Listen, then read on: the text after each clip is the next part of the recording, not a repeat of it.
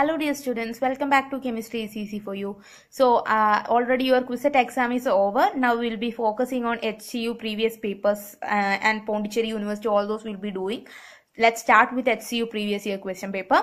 So the first question here today is from the part of kinetics. So what is given here? A reaction follows the general rate law. So the rate law is given as K equal to concentration of A, concentration of B square into C. Now what they are asking, the concentration of B is decreased by a factor of 3 and concentration of C is decreased by a factor of 2. So, uh, sorry, here this is rate is equal to K into. Now, uh, we have to find the rate of the reaction decreased by a factor of. So, now the new R dash, the new rate would be equal to K into the concentration of A remains as such. Then concentration of B is decreased by a factor of 3. So B by 3 is there and whole square and C has become by a factor of 2. Now we can simplify this further as K into A into B square into C B square okay divided by 3 square would be 9 into 2. Therefore the answer would be K into A into concentration of B square into C divided by 18. So what is this? This is R. So R dash is equal to R by 18. So it is decreased by a factor of 18. Option C would be the right answer. The second question is the one that we have already discussed in one of the videos. Uh, I have given a series of uh, ranges of uh, the basicity, acidic strength, all these of the group 15, group 16 and all. Just just see that video once again and you know the from that video I, I asked you to start learn those things by heart. The correct order of basicity of group 3, group 15 uh, trihydrides would be NH3 greater than PH3 greater than AsH3.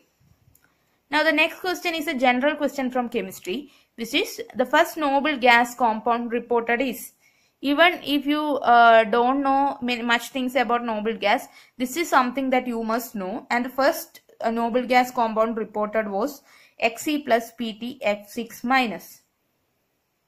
This was first reported and later on more studies and more compounds were discovered and also synthesized okay. Now the shape of NO3 minus is, we have to find, I have already given the method to find the shape uh, from the number of electrons. Uh, now nitrogen is having 5 in total and here we have a negative charge so plus 1 will be having 6 electrons and giving 2 to each of the oxygen and therefore we are having 3 lone pair plus 0 uh, sorry 3 bond pair plus 0 lone pair and that correspond to trigonal planar. Trigonal planar. So our answer would be option A trigonal planar. Uh, please watch that video because in all exams including HCU also this uh, this shape hybridization uh, the questions from this part will be coming for sure please please verify that once again and uh, make sure that you already know the method to find it so here I hope this is clear for you. Uh, practice more examples so that you will become highly uh, very very well uh, in this in this area. Now we will be doing the next question. The next question is the borane B8H88 minus can be classified as. We all know that if it is 2 minus or we can write this we can rewrite this as B8H8 plus 8 because the 8 minus can be added as hydrogen. So it is BnHn plus 8 which belongs to hypho borane. And this closo if it is BnHn plus 2 closo then uh, nido it is BnHn plus 4 then arachno it is BnHn plus 6 so uh, accordingly you have to classify the boranes now the next question is a nucleoside differs from a nucleotide. In. I have already made a video on the important points that you have to remember for from polymers and biomolecules for different exams and in that I have clearly mentioned the flowchart of how nucleotide and nucleosides in the by the hydrolysis are differed, differing into uh, or can be divided into different components and from that I clearly mentioned that a nucleotide when undergo hydrolysis forms nucleosides and phosphoric acid. So it lacks phosphate.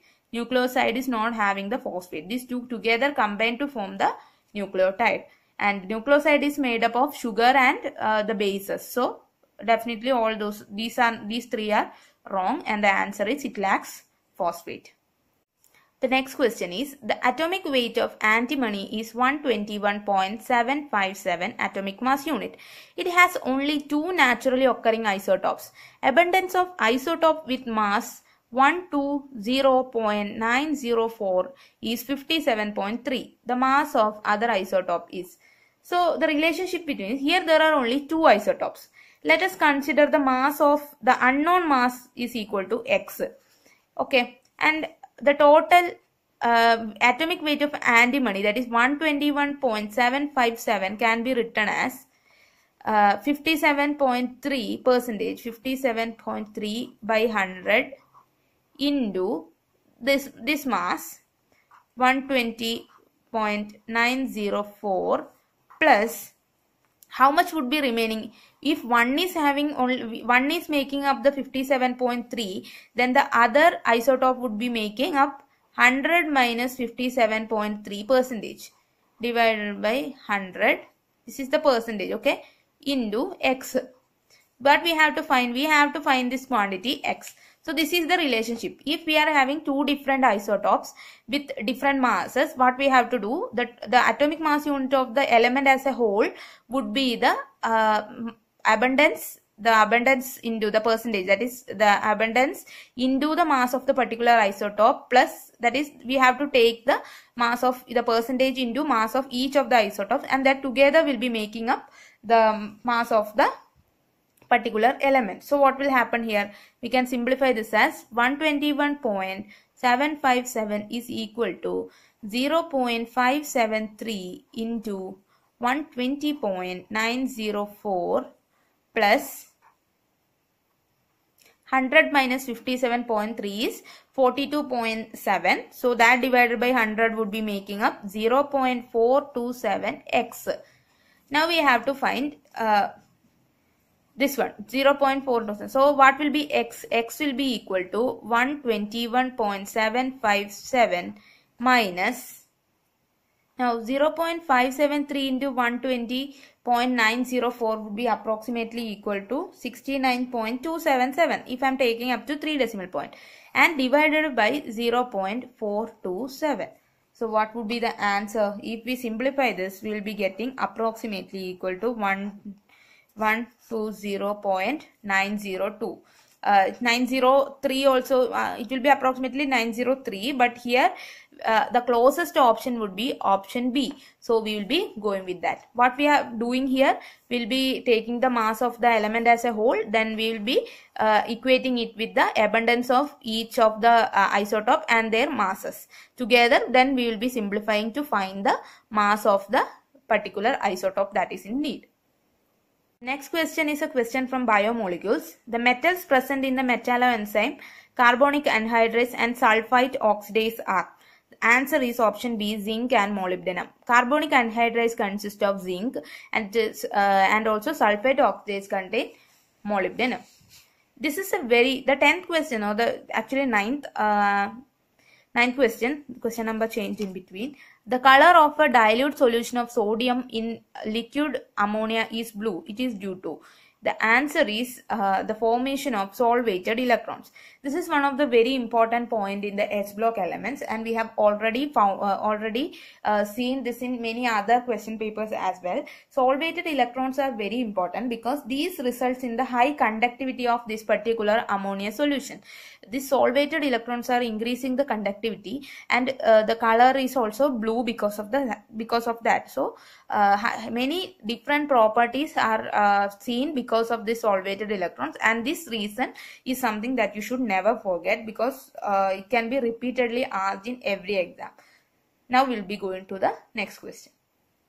The CFSE4 octahedral CoCl6 four minus is 18,000 per centimeter.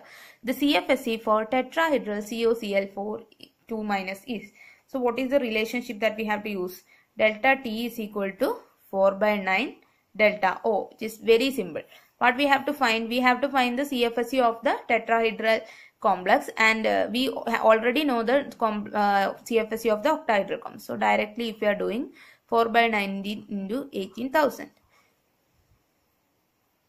and this sums up this becomes 8000 2 and we are having 8000 per centimeter which is our option A and if you remember this question was asked in CUSAT 2016 as well. So this is also a repeated question. Uh, this particular question also. Please remember this particular formula. Now we have a question from organic. The decreasing order of rate of acetolysis of the following is. So what is basically happening here is we have to uh, identify here there is a double bond okay? There is a double bond. Uh, there would be neighboring group assistance would be there for the acetolysis and the double bond would be not neighboring group but the neighboring group uh, actually the double bond will be assisting for the reaction. And the double bond if it is uh, anti to the particular group that is here we have to take care of OTS so if it is anti to that then uh, the reaction would be taking place faster. That is the rate would be higher. Then uh, it would uh, so the third one would be the uh, highest that is the fastest rate. So now either option uh, either option D or option A would be our answer because this is a double bond assisted reaction. Now the second one should definitely even though this is in the same side that is in this this is uh, not anti but on the same side of the OTS group but still we have assistance from a double bond. So the second one should be 1. Here there is no double bond at all. So for the acetolysis there is no factor that will be easing up the uh, or making the reaction rate higher. So definitely the order should be 3 greater than 1 greater than 2. First the double bond anti to OTS.